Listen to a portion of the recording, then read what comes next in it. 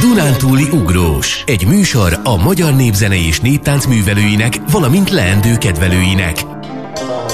Nem tudod, mi az a cinegés? Vagy csümögés? Nem hallottad még a Báta vize kezdetű dalt? Nem hordtál még tornyos bársont? Vagy csak nem tudsz róla? Akkor hallgass velünk együtt a Dunántúli Ugróst, és ezekre is választ kapsz. Dunántúli. Zene és tánc úgy, mint régen. Minden vasárnap délelőtt fél tizenkettőtől a Fortuna Rádióban. A műsort a Nemzeti Kulturális Alap Halmos Béla programja támogatja. Pakson nőtt fel, s tanulta meg a népzene alapjait a Dunántúli ugrós mai vendége, Juhász Kitti. Őt ismerhetik meg, és Morvai Tamás jazzgitárossal együtt muzsikálni is őt hallhatják majd mai műsorunkban, és persze néhány hírt a népzene és a néptánc világából. Népzenei magazinunkban ezúttal Strasser Andrát hallhatják, a szerkesztő Vida Tünde. Tartsanak velem! Dunántúli Ugrós. Zene és tánc úgy, mint régen. Gyakori vendég Paksó Juhász Kitti népdalénekes, aki hol szólóban, hol népzenei együttessel lép fel, néha pedig egy népzenét és jazzt ötvöző formációval ad koncertet. Nem véletlen, hogy sokszor hívják, hiszen Pakson gyerekeskedett, a Paksi Művészeti Iskolában tanult citerázni, ma már viszont ő tanítja a gyerekeket, hiszen időközben elvégezte a budapesti Liszt Ferenc Zeneművészeti Egyetemen a citera és a népi ének szakát. Juhász Kittivel Vida Tünde kolléganőnk beszélget a következőkben. A népzene helyi mesterei most a Dunántúli Ugrósban. Meghívást kaptál az atomfutásra, és itt fogsz vendégeskedni majd a Dunakömlődi szüreti napon is. Gyakori-e az, hogy a városban, ahol felnőttél, fellépési lehetőséget kapsz? Gyakran hívnak-e? Most azt kell mondjam, hogy nagy örömömre igen. Most uh, tavaly is meghívást kaptunk már az atomfutásra, illetve a városi augusztus 20-ai ünnepségre is, és ennek én nagyon örülök. Most volt egy időszak, ameddig, ameddig kevésszer léptem fel otthon. Ez valószínűleg azért alakult így, mert én is még egyetemista voltam, és nem voltam olyan sokat pakson. Hát most sem járok annyira sokat haza, viszont szerencsére most már, most már kapok felkéréseket, és ezeknek szívesen teszek eleget. Milyen érzés, amikor paksi közönség előtt lép színpadra? Igen, hát nekem ez, ez, ez nagyon jó érzés mindig, és, és az is, hogy, hogy eljönnek olyan emberek megnézni, akik esetleg régebben is rendszeresen eljöttek, amikor otthon felléptem, és kíváncsiak arra, hogy most milyen előadást adunk, hogy most kikkel zenélek, hogy most milyen repertoárral rendelkezem, és én nagyon örülök ennek, hogy mindig vannak ismerős arcok, viszont mindig vannak olyan emberek is, akik új közönségnek számítanak, és esetleg még nem voltak koncertemen. És van most egy olyan műsor, ahol erről beszélhetünk. Tehát mi újság, Juhász Kitti? Mi történt veled azóta, amióta nem a paksi iskolapadokat koptatod? Hát nagyon sok minden történt azóta. Budapesti Liszt Ferenc Művészeti Egyetem diákja voltam, először citera, azután pedig népi énekszakon. 2014-ben sikerült mind a két szakkal végeznem az egyetemen, azóta pedig tanárként dolgozom, immáron 6 éve, tehát már az egyetem alatt is tanítottam, úgyhogy nagyon sok minden történt azóta, de a pályán maradtam, és nagyon szeretem a, a tanítást is, és a zenélést is. Hol tanítasz, milyen korú fiatalokat? Zeneiskolában tanítok, ez azt jelenti, hogy 6 éves kortól jöhetnek oda a gyerekek. Most a legnagyobb növendékem 16 éves, de egyébként akár 22 éves korig is lehet járni egy zeneiskolai képzésbe. Én most Sziget Miklóson tanítok egy ilyen városi zeneiskolában, most már ugye ott 6 éve, és most idéntől egy másik zeneiskolában is kaptam lehetőséget Gödön a tanításra. Te magad mikor találkoztál a népzenével, és miért köteleződtél el mellette egy életre? Én még gyerekkoromban találkoztam a népzenével, amikor még táncoltam Pakson, óvodás korom óta. Hát igazából ekkor még nem köteleződtem el, de nagyon-nagyon szerettem még táncolni, és amikor behozott az egyik táncos társam egy citerát, akkor láttam meg ezt a hangszert, és nekem nagyon megtetszett, és ezért kezdtem el végül a zeneiskolában citerázni. És aztán az, hogy, hogy én ezt szeretném választani, az nagyon későn, 16 éves koromban dőlt csak el bennem, úgyhogy ez egy viszonylag új keletű, ugye van, aki már sokkal korábban elhatározza ezt, nekem 16 éves koromban jött ez a Ad- döntés. Addig szeret- milyen pályára készültél? Vagy nem hát volt addig ilyen? tanár szerettem volna lenni, de, de addig, addig nyelvtanár, illetve valami, valamilyen, hát nyelv, illetve magyar tanár, ezeken gondolkoztam, de főleg a, a nyelvek vonzott. És a citera, ő nyert. Miért? Igen. Mondd meg nekünk, nekem és a hallgatóknak, hogy mi ejtett rabul a citerában. Hát ez nehéz így megfogalmazni. Mindig is nagyon-nagyon szerettem ö, együtt zenélni a többiekkel. Ez az egyik, ami nagyon meghatározó élmény volt számomra. De azt is szerettem benne, hogy hogy tudok magamnak zenélni otthon, amikor már volt olyan repertoárom, amit tudtam csak úgy is játszani, akkor ez nagyon nagy élmény volt számomra, hogy elő tudom venni bárhol a hangszeremet, illetve amikor elkezdtem járni 2015-ben táborokba, akkor történt az meg velem, hogy láttam, hogy ezt még mennyi ember csinálja, és hogy ez annyira megtetszett nekem ez, ez a kollektív zenélés, és hogy ez, ez ilyen nagy tömegeket megmozgat, hogy talán akkor volt az a pillanat, amikor így elkezdett bennem kialakulni, hogy, hogy én ezt szeretném csinálni. És egyébként a fellépések során mit részesítesz előnyben egyáltalán szóló előadóként? Színpadra lépsz el, vagy mindig valamilyen formációval? Hát mostanában inkább formációkkal lépek színpadra, ez nem azt jelenti, hogy nem szeretek szólóban, Dunakömlözön is egyébként szólóban fogok zenélni egy fél órát. Nagyon szeretek szólóban is zenélni, de azt tapasztalom, hogy mostanában inkább a, ugye a színpadokon és a közönség inkább a zenekaros előadásokat kedveli, és emiatt nekem most inkább arra felé dől a mérleg, de mind a kettőt egyformán szeretem. Most jelenleg két formáció van, amiben tevékenykedem. Az egyik az egy népzenei, ezzel már voltunk tavaly a Takson is a Sárgödör téren zenélni. Ez a Násfa együttes. Ez a Zeneakadémián volt évfolyamtársaimból, és belőlem alakult háromtagú lány együttes, és nagyon-nagyon sokféle hangszeren játszunk ebben az együttesben, tehát az a célunk, hogy minél színesebb zenét mutassunk meg a, a magyar népzenéből. Mondd el a társaidat, és, és nyugodtan a hangszereket is, amin játszotok. Sosréka hegedűn játszik, illetve énekel, Nyéki Janese pedig mindenféle furuján zenél, és én ugye kopzolok, citerázok és énekelek ebben a formációban, és ez tényleg lehetőséget ad számunkra, hogy mindenféle színes összeállításokat csináljunk. Másik együttesről is mesélj, kérlek. A másik együttesemet már, már láthatták Pakson, igazából ez egy trió formáció, de néha duóban szoktunk zenélni, tehát duó és trió is. Ez egy világzenei, mondhatjuk világzenei formáció, ahol a népzenét és a jazzzenét próbáljuk egy kicsit ötvözni. Én ebben énekelek, van benne egy jazzgitáros, illetve egy jazzbőgős. Nagyon érdekes egyébként, hogy van egy ilyen formáció is. Azt hittem, hogy te csak az autentikus várfaját műveled a népzenének. Szabad ezt, vagy kell ezt ötvözni? Hát, hogy kell erről, erről sokan sok mindent mondanak. Van, aki azt mondja, hogy nem, nem kell és nem is szabad. Van, aki azt mondja, hogy szabad. Nekünk ez úgy indult ez az egész, hogy örömzenéltünk, és, és rájöttünk, hogy fel lehet ötvözni ezeket a, a, a jazz és a elemeit. Rájöttünk, hogy ez nagyon jól hangzik, mi úgy próbáljuk a, a népdalokat feldolgozni, hogy azok lehetőleg ne csorbuljanak. Tehát a népdal maga az eredeti verziójában, az eredeti formájában marad meg, azzal a dallammal, azzal a szöveggel, abban a stílusban, és ehhez kerül hozzá a jazz harmónia. Milyen repertoárt állítottatok össze az idei atomfutásra? Az idei atomfutásra Morvai Tamás jazzgitárossal állítottunk össze egy, egy műsort. Tavaly is hasonlóan léptünk fel. Ez ugye a, ez a feldolgozásos világzenei formáció, ha mondhatjuk ilyen szóval, de mindenféle népdalokat dolgozunk fel ezzel a formációval, és, és ezzel léptünk fel. Hogyan választotok? Mi az, ami közel áll hozzátok? Ezekről általában én szoktam dönteni, mivel Tamás nem annyira ismeri a népdalokat. Én úgy szoktam választani, hogy olyan dalokat választok, amik, amiket el tudok képzelni azokkal a, a harmóniákkal, amiket ő hozzá fog majd tenni. Tehát így elképzelem, hogy az hogy fog hangozni, vagy érdekes dallamút, vagy ritmusút, vagy, vagy pont, hogy egy, egy nagyon egyszerű dalt választok ki. Hogyha visszatérünk egy kicsit ugye a tanításhoz, nagyon-nagyon nagy a választék. Nem csak zenét lehet tanulni, hanem egyéb művészeteket is. A zenén belül is nagyon sok mindent. Meg tudja őrizni úgymond a versenyképességét a népzene? Én úgy látom, hogy igen.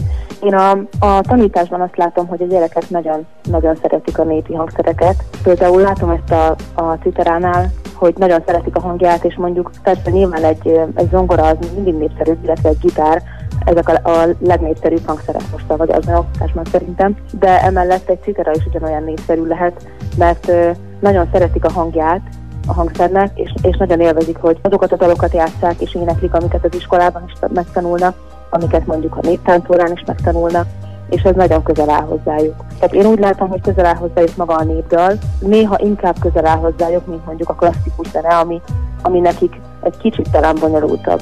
A népdal helyén van egyébként, és a népzene a hazai oktatásban? Sokan mondják, hogy az anyanyelvi oktatás része kell, hogy legyen a, a népzene, a népdal oktatás. Ehhez képest hol tartunk szerinted?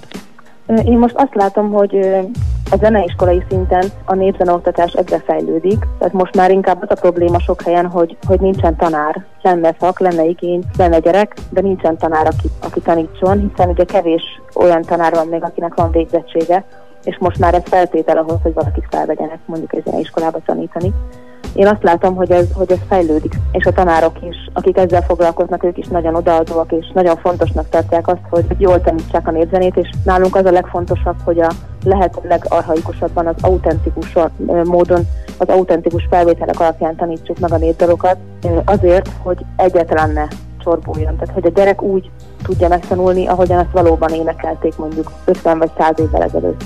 Vagy ki tudja hány évvel ezelőtt, csak nekünk ilyen felvételeink vannak. Egyébként te, hogyha kedvedre énekelsz, mit énekelsz legszívesebben? Hát mindenképp népdalokat. Azt gondoltam azon belül. Igen, hát azért, azért fontos elmondani, mert hát lehet, hogy valaki mondjuk más, nyilván más zenei műfajt is lehet kedvelni.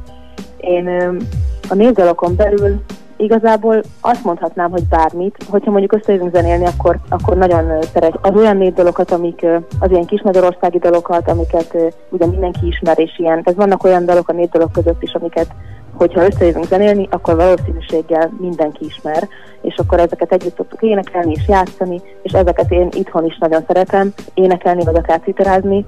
Nagyon szeretem az erdélyi zenét is, de azt tudom mondani, hogy tehát mindenféle népzenében, ami a magyar nyelvterületen van, van valami olyan szépség, hogy azért mindegyiket érdemes, és mindegyiket jó játszani. Tehát én nem tudok most így választani, hogy most melyik a kedvencem, mert az aktuális hangulatomtól függően bármelyiket szívesen játszom. Nem beszéltünk arról, hogy most zárjuk a nyarat, és neked is meghatározóak voltak a tábori élmények. A táboroztatásban vállalsz szerepet? Voltak táborok, ahol részt vettél? Igen, idén ö, is, mint tavaly négy táborban vettem részt. Hát ez kicsit ö, az erőimet kimerítette, de, de hát mindig úgy érzem, hogy ö, nagyon jó táborozni. Én ugye oktatóként veszek már részt ezeken a táborokon, nagyon élvezem őket, mindegyik más, van, ahol gyerekek vannak, van, ahol felnőttek, van, ahol mind a kettő korották, volt Erdélyben, volt felvidéken, úgyhogy hát igen, kivettem a részemet belőle, de, de nagyon élveztem ezt is. Akkor mondjuk el, hogy legközelebb ugye Dunakömlődi szüreti napon láthat, hallhat téged a közönség, mikor és mit hozol nekünk? Szeptember 23-án egy fél órát fogok zenélni, és hát azt tudom ígérni, hogy hogy mindenféleképpen citerázni és énekelni is fogok, és mindenféle ö, dalokat fogok játszani a magyar nyelvterület egészéről. Tehát egy ilyen színes repertoárt szeretnék bemutatni ott. Nagyon szépen köszönöm, mi pedig azt tudjuk megígérni, hogy ott leszünk. Vida Tünde Juhász Kitti, Paksol elszármazott népdalénekesel és népzenésszel beszélgetett, akik szombaton részt vettek Pakson az atomfutáson, hallhatták Kittit és Morvai Tamást közös világzenei produkciójukban, aki lemaradt, most pótolhatja. A következő dal a Gyerek itt egy gyöngyvirág című dal Juhász Kitti és Morvai Tamás előadásában következik.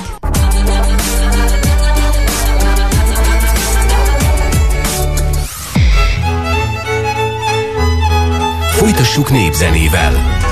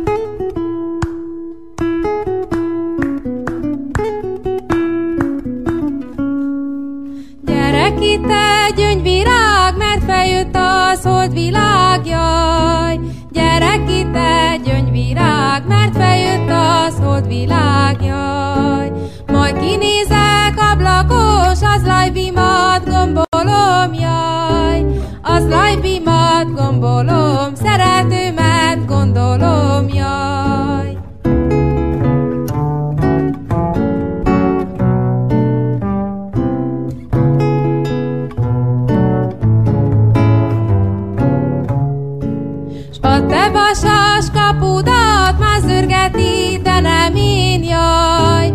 Az zörgese, hanem én, míg eszedbe jutok én, jaj.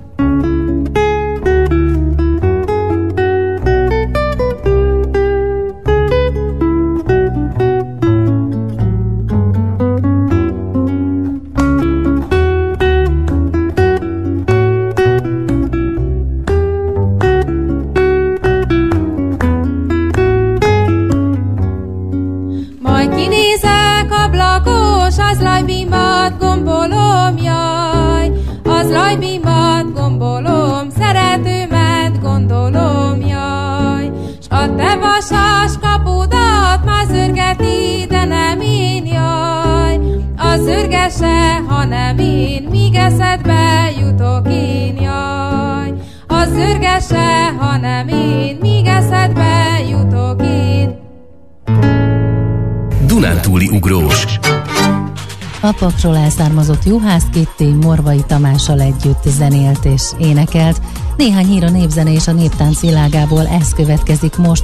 Bartók Béla és Kodály Zoltán zenekari és énekari kompozíciói, népdalfeldolgozásai hangzottak el az eredeti népzenei forrásokkal együtt zenészek, néptáncosok és népdalénekesek tolmácsolásában szerdán, a Műpában, a Csak Tiszta Forrásból című gála műsoron. Az előadás a két zeneszerző gyűjtésein végig haladva mutatta be a zenekari és énekkari kompozíciókat és népdalfeldolgozásaikat az eredeti népzenei forrásokkal együtt a népdalok és néptáncok autentikus tolmácsolásban népzenészek, néptáncosok, valamint a felszállott a Páva népzenei tehetségkutató verseny győzteseinek közreműködésével jelentek meg és csendültek fel.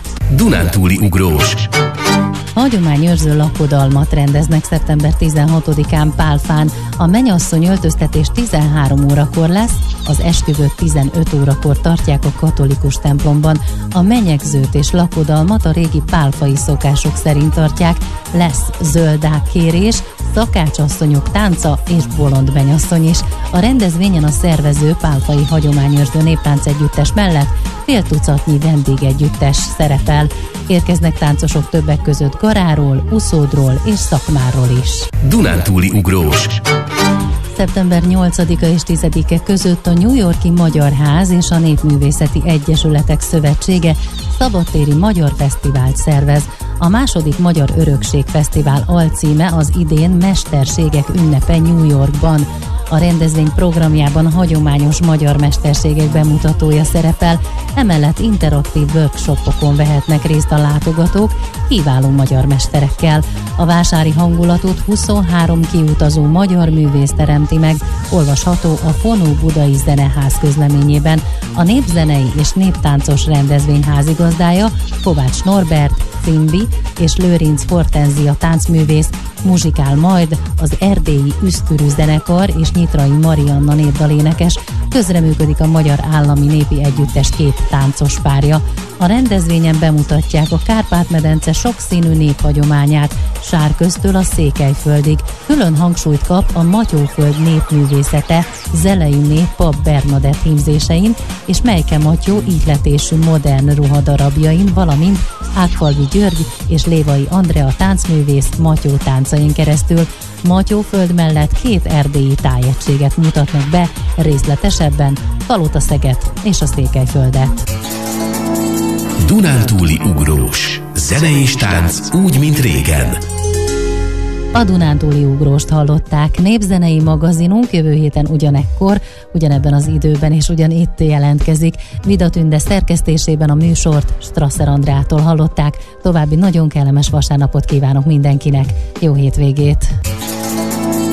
Dunántúli ugrós. Zene és tánc úgy, mint régen. Dunántúli Ugrós. Egy műsor a magyar népzene és néptánc művelőinek, valamint leendő kedvelőinek. Hát fiam, ez a Dunántúli Ugrós is jól sikerült. Igen, papa, úgyhogy jövő vasárnap is átjövök, hogy együtt hallgassuk meg ebéd előtt.